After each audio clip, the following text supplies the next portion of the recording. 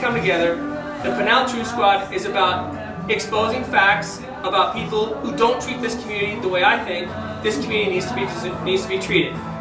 And I think the most of you that are in this room, mostly San Tan Valley, believe that we should be treated with respect. We deserve it. We came out here looking for a good quality of life, and I think it's worth fighting for. And, and that's what it's all about. So we'll see where it goes. This is all we're doing. It's a 501c4. It's uh, the, the nonprofit. 501c4s are not, uh, you don't have to divulge who your donors are. You're like, well, why would you do that? People out here are scared. There's a guy that lives just down the street here, over here on Thompson, Bambi Sandquist. Bambi Sandquist was an activist in this community for years and years and years. She came out a couple years ago against George. Ooh, she got really vocal. You know where she got vocal? Did she get out on the streets and everything? No, she got vocal in a in a blog, in news app. In a blog, a crappy a crappy blog that not a thousand people read. George Johnson nailed her to the wall. I told her about this, and she's like, I'm not going anywhere near that guy. She doesn't have the resources to fight it. A 501c4 gives you the ability to be part of something that tries to level the playing field. It gives you that, that separation that you need to say, hey, I think you're wrong. As long as you're telling the truth, you have no fear. You have no fear. Again, you start spe spreading stuff that's not true, you're on your own.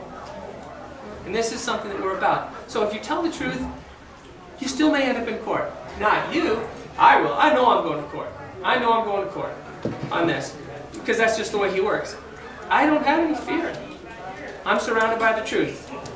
And we have the resources now, because of people in the community and businesses in the community, have given us the ability to, hey, go fight. Go. You can say what you need to say as long as it's truth, and we'll cover the upfront cost because we know we'll get it all back when you go to court with this guy.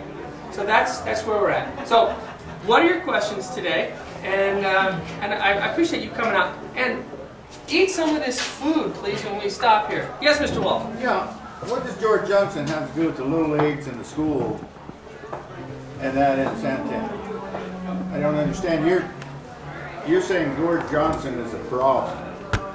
George, uh, businesses, yeah, businesses that treat our, he, our citizens. Not, he doesn't have anything to do with the schools or the little league, does he? No, but this community, I'm setting the tone for what this community is, okay. where it's at today. And when people are working against this community or not helping this helping this community, that's that's problematic. What what does Florence have to do with Santan Valley? Their well, actually, Florence has a lot to do with Santan Valley. If you know the history uh, of this community, uh, this community was working towards having an election to to let the citizens decide whether they were going to incorporate or not. That, and that's all it was. It wasn't a yes or no. I mean, it was do you have deserve the right to vote on it? That's where it was at. Well, Florence perfectly legal, decided, no, you guys don't need, need to do that right now. We can't afford for you to do that right now, which is fine. And the mayor is on record, and Mayor Vicky is a very dear friend. I, I believe she probably misspoke when she said that those people are bad people. Um, I don't know that that was her intent, and I'm sure she would take it back. Uh, because again, Mayor Vicky is a very dear friend. Um, but there is a level of animosity that should not exist between the two communities because you are neighbors and you will grow together, you will flourish together.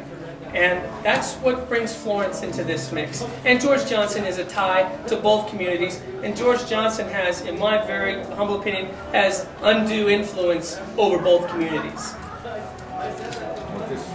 seems more like a vendetta, you know, listening to You know, and, Mine may be way off. Yeah, and, and you're right. well, like for those that have seen my name in their utility bill every month for the last three years, um, maybe it was time just for a little, you know, tit for tat, as it is. I'm not saying what he's doing is right.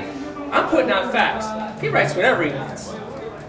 So, what other comments you got? He did give us a library.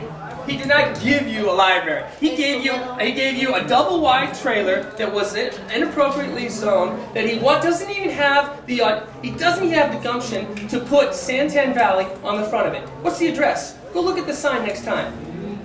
He doesn't even call it Santan Valley. That's Queen Creek address on that place.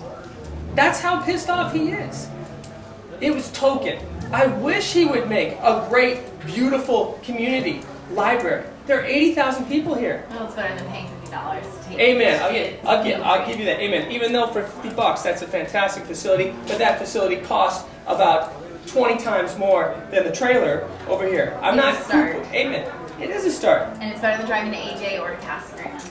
George Johnson, in one year, in one year, it's reported that he made $77 million in one year building homes out here. $77 million. God bless him. This is capitalism. $77 million. Now, what is he giving back? He's giving you a $200,000 library that he already had. So, okay, he, he gave you, so we'll call it 200000 What else has he given? To this community that he lined his pockets with. He got, he is very wealthy, and he's earned it not just here, but other communities, but he's very wealthy. What else has he done? He'll tell you he paved Hunt Highway, a paved the road. How the heck else am I going to drive to the houses I'm building out here? If the county doesn't have the resources to drive out and buy a house, he had to pay for it if he wanted people to drive out to the houses. So the, the bottom line is, I wish he would put just a, a, a percent, one percent of what he's made on this community into this community. Really, not five thousand dollars to a Boys and Girls Club or a, a YMCA here or ten thousand here. No kidding. Step up. Let's see what you got. If you really want to be part of this community, do it. Because I tell you, he can afford it. So, but I'm not. You're right. I shouldn't take anything away. He did contribute. Yes, he did. Yes, he did. And I appreciate that. Big, with the big tax deduction probably too. Um, I don't know that for a fact, but tax he write-off probably did. that. I, I don't know. He's he's got smart business people. What other questions you got today? Surely there's some issues. Hunt Highway. Yes. Hunt Highway. I had heard just last week that there's no plans on ever. You read news app, and that is not true. No, Just no, go to the this is just people, uh, No. I guess it was with one of the HOA members on Johnson. Then, and they read news app. Okay. Okay. Hunt Highway. Hunt Highway is a $129 million project. Starts at Empire Ellsworth, just on the curve, right there. That's where Maricopa County and Pinal County are joined, right there. Goes all the way down, and it goes almost all the way to the Florence town limits, which is just this side of Anthem. $129 million project. Within the last two years, we've put three new traffic lights on Hunt Highway, Copper Basin, Thompson, and Johnson Ranch, coming out of the school there by Walker Butte. Three new traffic lights on it. We've re- restriped um, the majority of it. And starting this summer, we are going to put $5 million on the road out in front of us here, starting at Empire Ellsworth and going about a thousand feet past Thompson. $5 million for two miles of road, which is the craziest thing I've ever heard, but there are a bunch of water issues that we have to deal with, movements of, of water. So Hunt Highway remains the number one priority uh, for roads in all of Pinal County. It's just they keep taking our money. The state legislature keeps taking our HURF money, highway user revenue funds. These are the monies that we get to work on roads. So the $5 million, you know where that 5 million came from? It came from Brian Martin going to Washington, D.C. and pounding on doors and begging congressmen, we need money, we need money, we need money. That's where that came from, which is what your representatives need to do. Uh-huh. Go out and beat the streets. But that's where it is. So people say, we're not putting money in Hunt Highway.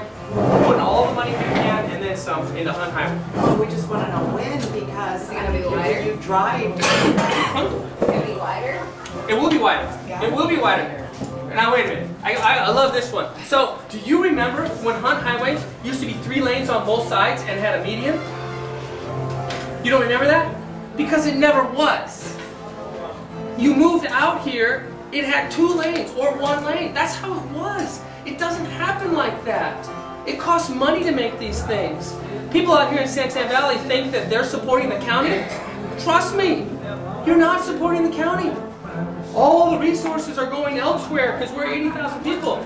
Trust me, you have your own expenses here. I got a lot of road, I got a lot of issues to deal with in this 80,000 member community. So it's not a, well, somebody else, our money's not going here. Trust me, your money's coming here and then some. You want to talk about people who spend more than what they get? Set up Gold Canyon. Look at property values in Gold Canyon and then look at how many roads they have. And then if we went dollar for dollar, you pay this much in taxes. How much do you get for roads? No, that money goes to the county pool. And the county pool right now says Hunt Highway is number one. Yes. Last week I was at a meeting and uh, listening to a man talk, that every time we buy gas, other than Pinal County, the taxes that are on that gas go to wherever we buy. So from now on, every time you buy gasoline, make sure it's in Pinal County to help on highways money. Amen. Our highway user revenue funds, all those HURF monies, and beat on your state legislators. Legislators are notorious the last two years for sweeping HURF money. HURF money. Dude, you're killing me. That's all I got. I've got over a thousand miles of dirt roads in Pinal County. We're 5,386 square miles. We're the size of Connecticut. More than half our population live in unincorporated areas. I've got a thousand miles of, of unpaved roads, and the EPA is breathing down my back for dust. Remember that big haboob we saw that swept over Pinal County? That must have been from some farmer or some dirt bike riders, I imagine. At least that's what the people in Virginia must think. We have big issues with dust out here, and paving roads is one of the ways that you help to mitigate that. You're never going to stop it, but that's what Washington wants you to do. Right now, the President Barack Obama has put the EPA on hold. Says leave the EPA, leave the dust issue alone for a while. Thank the Lord, because they were on track to put us in an area called non-attainment, where we would have been forced to start paving all the dirt roads, including the driveways over 300 feet long. So if you live on five acres and you have a nice 400, 500 foot driveway to your house, guess what? By law, you're going to be required to pave that. Crazy stuff. It's not gone, it's just on hold. These are the issues we deal with in Pinal County. Mr. Kentowski. Do they still have the monitors? I know Yeah. before, they have monitors around the county that they go by what they call PM10, and you have to be within certain compliance that, and if you're not, I, I don't know exactly what they do, but I know if you're not in compliance with it, it's got something to do with highway funds. You can be fine. Come on, come on through. Come on through. It's fine. You're not enthralled? I figured you'd sit there until it, you know. Trying to do a job, we're Thank you. Thanks, have a great night. Thank you. Thanks for coming out to Santan Flat. Thanks for spending money in Pinal County. Oh, yeah. Go to Washington.